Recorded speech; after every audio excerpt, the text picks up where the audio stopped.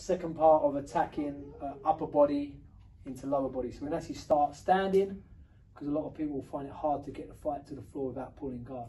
So you're going to get head control.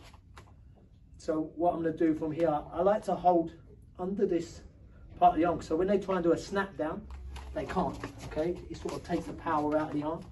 Then from here, I'm going to use this hand to punch this elbow up and get an overhook on this arm here, okay? So now I have the overhook, I can circle and use this. I'm going to do a slight back step to break the posture down.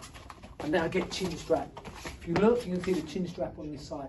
I'm now going to circle the person down and a slight sprawl to get them onto all fours. Good. As soon as they step this leg, I'm coming over and then joining my hands for, for a cradle position.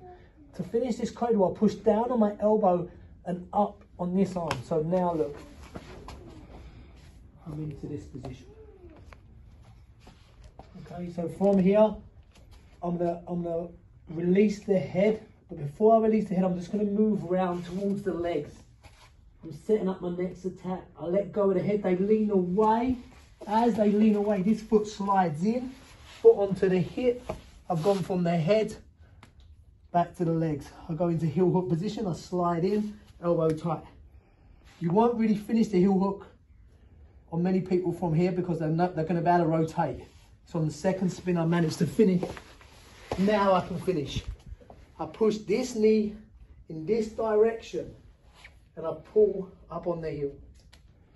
Like you're twisting paper or tearing paper, I'm taking the, the, the thigh that direction with my fire and I'm using my hands to rotate that way.